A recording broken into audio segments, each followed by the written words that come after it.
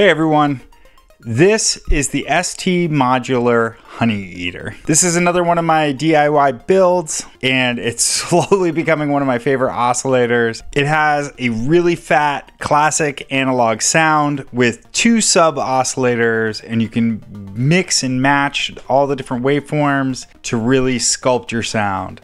It uses the CEM 3340 Curtis oscillator chip, which is also used in synths like the OBX and the Sequential Pro. So it's just got like a really great fat classic analog sound and a few other features that make it really fun to use. I personally love that kind of Prophet sound, and so that's what piqued my interest and why I built this module.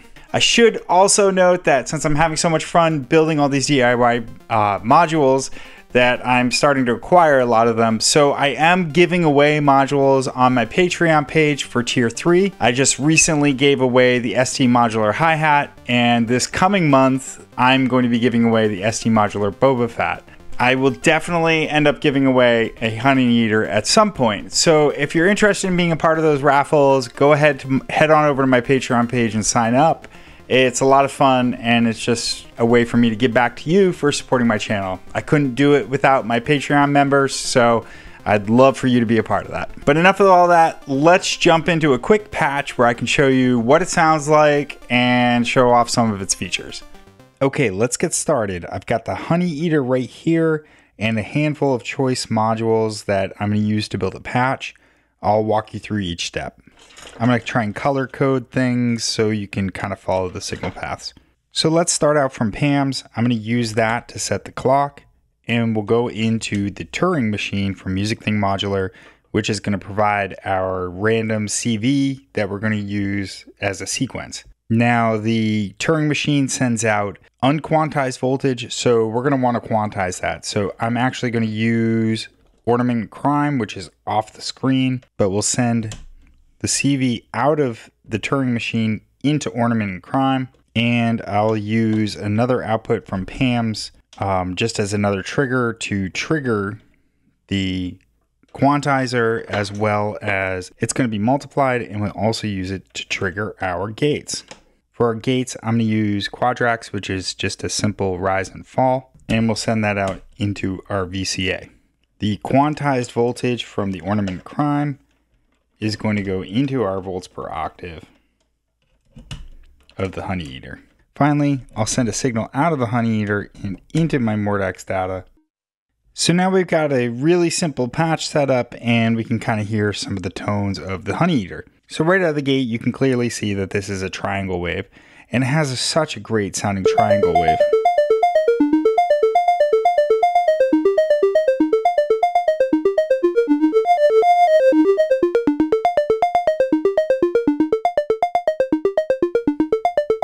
Really bell like. It's just a beautiful tri- uh, triangle wave. You can switch out between triangle and saw waves using this switch.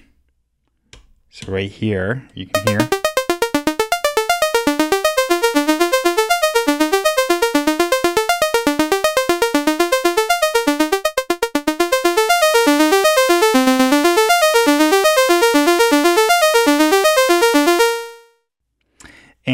This first knob controls the level of the triangle and uh, and saw wave. So let's turn that down for a second and turn up our next wave, which is pulse.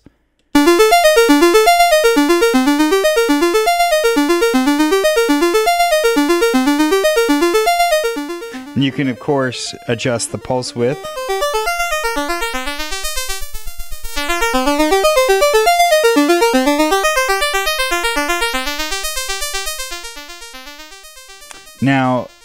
Also too, if you if you turn it too far, I wasn't turning it all the way. You can actually cancel out the sound because the pulse just gets too much. So if you turn it too far, it just cancels out the sound. You can kind of hear the clicking still, but.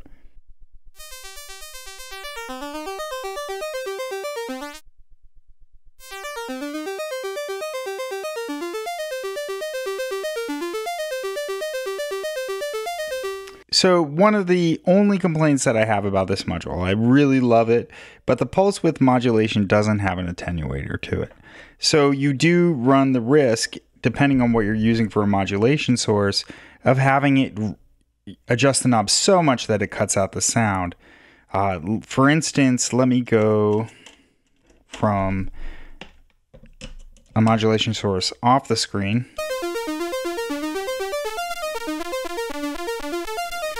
Can hear it kind of clicking.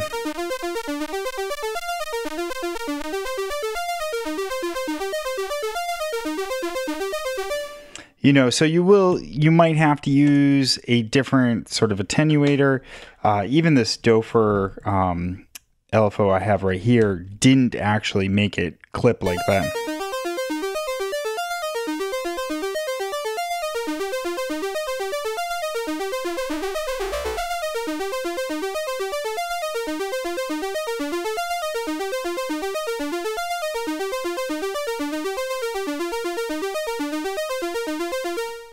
So it's a relatively small complaint, but it is there.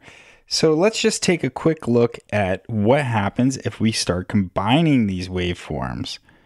So check this out. So if I want to introduce a triangle wave to the pulse wave, you can get some neat shapes.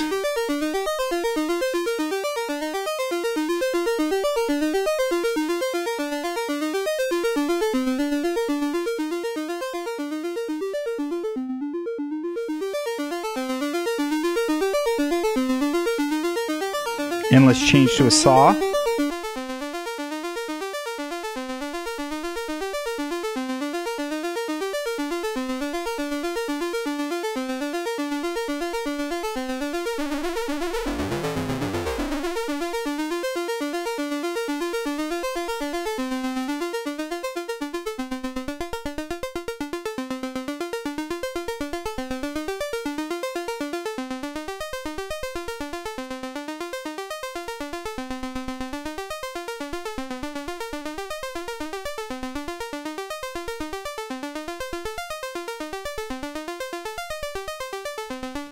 So that's pretty cool.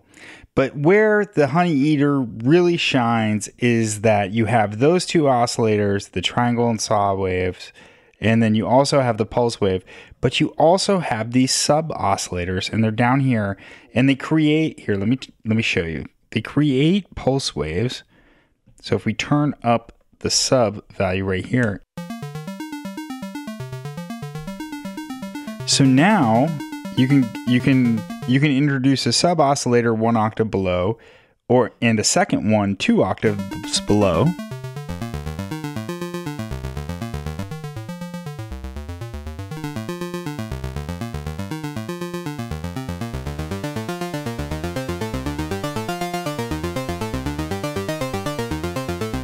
And when you have all three going, it creates a super fat sound.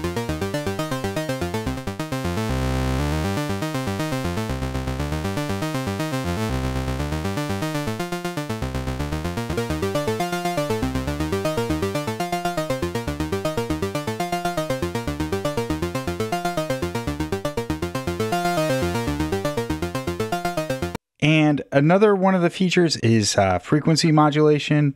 I believe that the um, the BOM states that this switch, which is switches between uh, linear frequency modulation and exponential, I believe that they say it should be um, an on-on switch, just two positions. I put in a third one because I wanted to be able to switch between frequency modulation, linear, exponential, and then in the middle, it's just off. But let me show you a little bit of what that can do.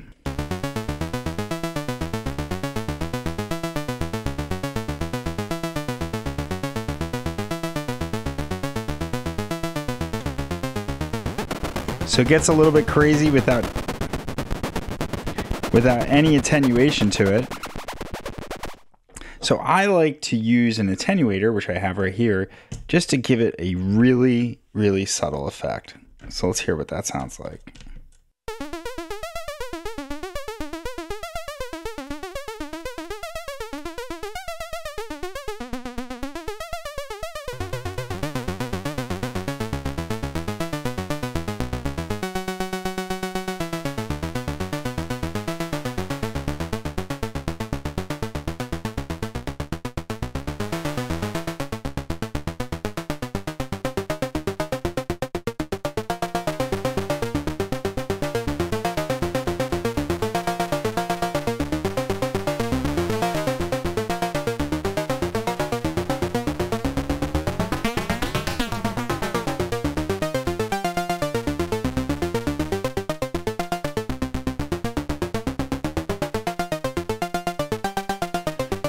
To slow this down a little bit.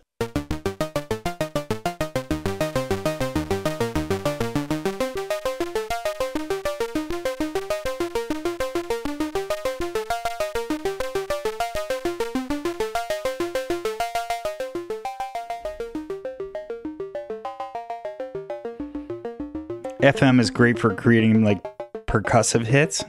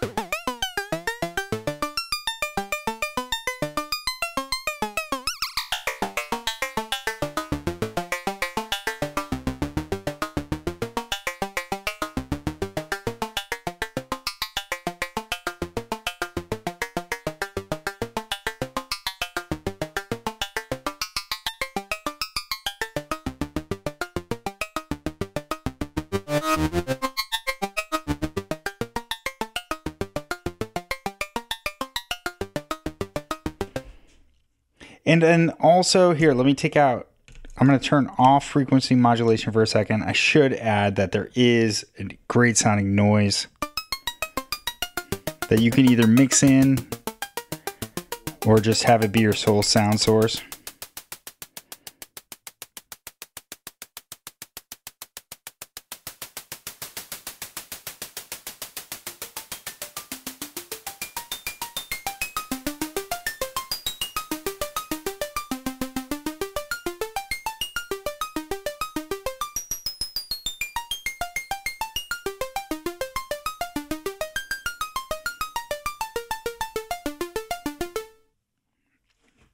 All right, that's it.